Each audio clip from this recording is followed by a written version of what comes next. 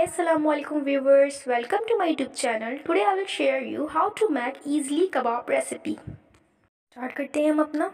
सबसे पहले हमने दो कप दाल को भिगो के रखा था टू आवर्स के लिए। और जो इंग्रेडिएंट्स हमें रिक्वायर्ड हैं, उसके लिए हमने मीट ले लिया हाफ़ के जी और सारे मसाले हमने ले लिए। चले आए स्टार्ट करते हैं। सारी चीज़ों को हमने कुकर में डाल दिया है। और इसमें हमने वन कप जो है वाटर ऐड कर दिया है। इसको हम कुकर पे चढ़ा दें ताकि अच्छे से गोश्त हमारा गल जाए। इसको हम चढ़ा देंगे कुकर पर वन हाफ़ आवर के लिए। टाइम हमारा हो चुका है, अब इसको हम खोल लेंगे कुकर को। ये देखें, बिल्कुल गल चुका है ये। इसको हम अपने स्पून से ना पीस लेंगे, क्योंकि बिल्कुल गल चुका है। इसको आपको ग्लैंड करने की ज़रूरत नहीं है।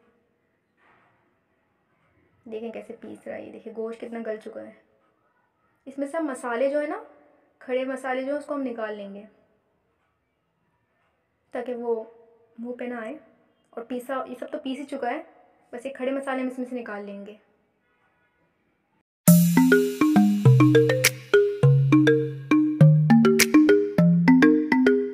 ये हमारी मीट जो बिल्कुल पिस गई है, बिल्कुल ब्लैंड हो चुकी है। इसमें हम धनिया, कटी हुई धनिया और कटी हुई हरी मिर्च इसमें ऐड करेंगे और एक अंडा हम इसमें ऐड कर देंगे।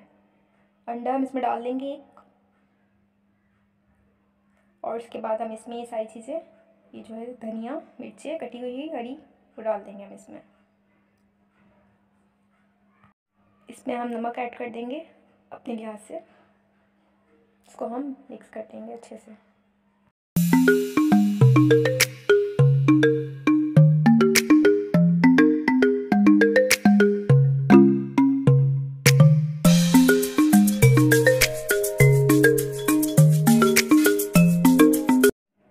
कबाब हमारे रेडी हो चुके हैं, बिल्कुल?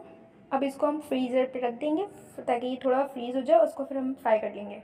इसको हम फ्राई कर लेंगे अब अच्छे से। हमारे कबाब जो है, बिल्कुल रेडी हो चुके हैं। Thank you so much for watching this like and subscribe कर दें। अल्लाह हाफिज़। Thank you